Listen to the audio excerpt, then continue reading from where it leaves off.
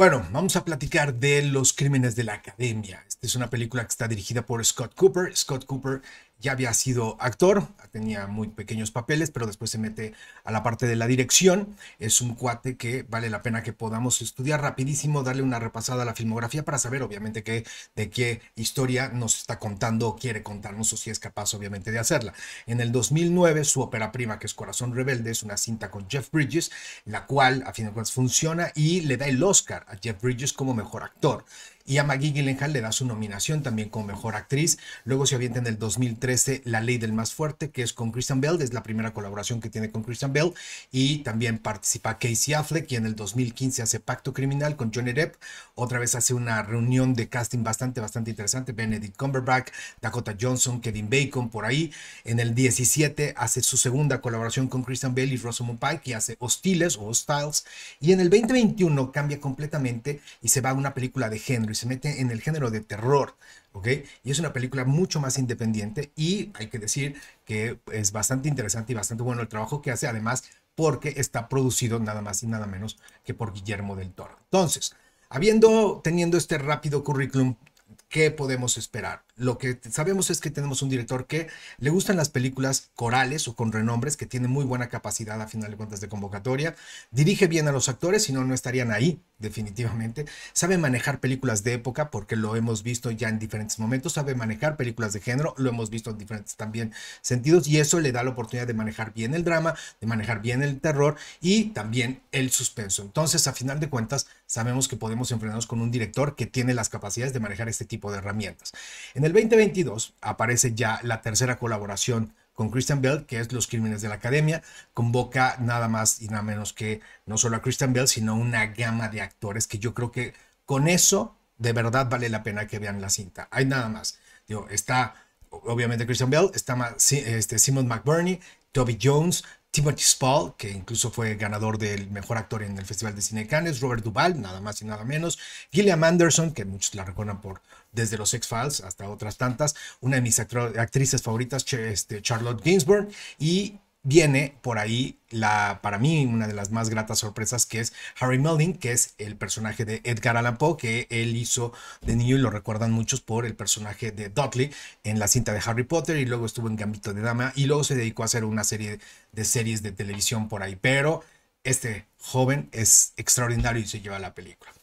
¿De qué va? 1830, estamos en la ciudad de Nueva York y estamos en la academia, en una academia militar en West Point y de repente ha aparecido el, eh, cuerpo de un cadete que está, que está ahorcado y el problema es que a la hora de la autopsia se descubre que alguien le ha quitado o le ha removido el corazón y entonces eso lo dirige más como una parte ya hacia algún culto o hacia alguna, algún este, asesinato de mucho más cizaña o con alguna más problemática. Entonces los directores de la academia le hablan al investigador Augustus Landor. Este Augustus Landor es un personaje que ya tiene muchísima reputación en cuestión de investigación y tiene ciertas características. La primera es de que lleva viudo ya tres años, su hija se ha ido, él dice que se fue, muchos lo interpretan como si hubiera huido otros como si hubiera fallecido. Es un hombre que tiene una gran experiencia en la parte de investigación, es un hombre que además bebe mucho, toma, guarda un gran dolor y es impresionante a final de cuentas lo que está a nivel este, interno manejando. Y en una cantina a él le piden obviamente que investigue, empieza la investigación y una noche se va a una cantina y en la cantina en lo que está platicando echándose unas cervezas con alguien se le acerca un joven cadete delgado, blanco, pálido, con ojeras y le dice a quien usted está buscando es a un poeta. Obviamente Landon, el personaje, le dice, bueno, ¿por qué diablos lo dices? Y dice, bueno, como están, mucho gusto, me presento, yo soy Edgar Allan Poe, soy el cadete Edgar Allan Poe. Y de ahí, obviamente, la película da un muy buen giro y dices, me va a interesar a final de cuentas quién es este personaje. Landon, digo, es eh, a final de cuentas ya reconocido, ya sabemos por dónde va, pero vamos a descubrir quién es Edgar Allan Poe. A partir de este momento, la película se empieza a convertir o se convierte en una dupla, a final de cuentas, como Sherlock Holmes y Watson, ¿no? Que tratan de investigar juntos la muerte de este cadete. Creo que a final de cuentas con esta dupla se maneja muy bien el suspenso. ¿Qué me gusta, como decía yo, es la exploración de los personajes. Aquí el asunto es que el personaje de Christian Bale, el investigador Landon, cuando empieza la película, en todo lo que es la introducción del primer acto, digo, se, se y se menciona todo su currículum. Cuando, lo van cuando le mandan a hablar y llega a la academia, todo el mundo ya le empieza a mencionar su currículum. Entonces ya sabemos de dónde vienen sus antecedentes y todo eso. Sin embargo, el que se roba todo esto y el que a final de cuentas nos interesa descubrir, y es la segunda línea que tiene la película, es precisamente quién es Edgar Allan Poe. En realidad, Edgar Allan Poe, esto, es, esto es verídico, Edgar Allan Poe estuvo en la academia precisamente de 1830-1831. Eh, su padre adoptivo es el que pagaba la, academia militar, pero el padre adoptivo de repente le manda un mensaje y le dice, ya no te voy a poder pagar porque acaban de nacer, este, se entera que tiene otros, otros hijos, acaban de, de nacer unos gemelos al padre adoptivo. Edgar Allan Poe se enoja, Edgar Allan Poe se encabrita y agarra y hace todo lo posible para que lo expulsen de la academia. Todo esto es verídico a final de cuentas, ¿ok? También, digo, vamos a descubrir varias cosas de cómo el personaje que estamos viendo o descubriendo aquí se va a convertir en este ser extraordinario, en, este gran artista sombrío, oculto, el cual hemos leído muchísimos, ¿no? Entonces, por ahí incluso el director hace una toma, le hace un homenaje, en un primer plano pone un cuervo, haciéndole un homenaje precisamente al texto.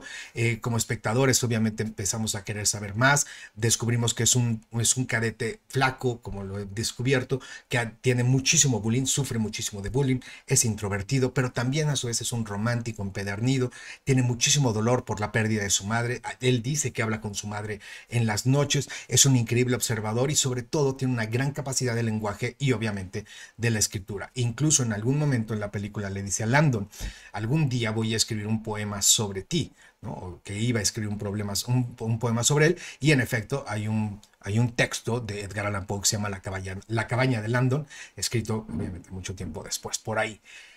El ritmo de la película es lento, sin embargo, sí avanza. Yo creo que no es una película obviamente ágil, no es una película este, totalmente de acción, sin embargo, creo que cumple con mantenernos entretenidos.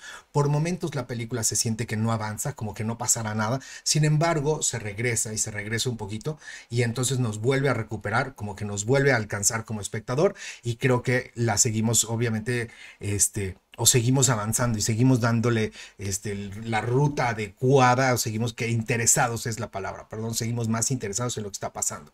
Como espectadores, a final de cuentas, tratamos en nuestra mente de, de buscar las pistas, o de hacer o con las pistas que nos da la película, tener un resultado, tratar de adivinar obviamente quién es el asesino, tratar de hacer las conjeturas. Y yo creo que eso es lo bueno de una película de suspenso. Si superamos que a veces el guion se da algunas vueltas o se enreda o que de repente es muy lento y se siente que no pasa nada, si superamos esa parte, ustedes tranquilos, tómenselo con calma. Es una película que obviamente salió en Netflix, está para la televisión, está para verse en la recámara, está para verse obviamente con la botana, está tranquila, apague su luz y yo creo que se, van se la van a pasar muy bien muy buenas actuaciones, entretenida, buen manejo de suspenso, sorpresa en la cuestión de la actuación, interés obviamente en descubrir quién es Edgar Allan Poe.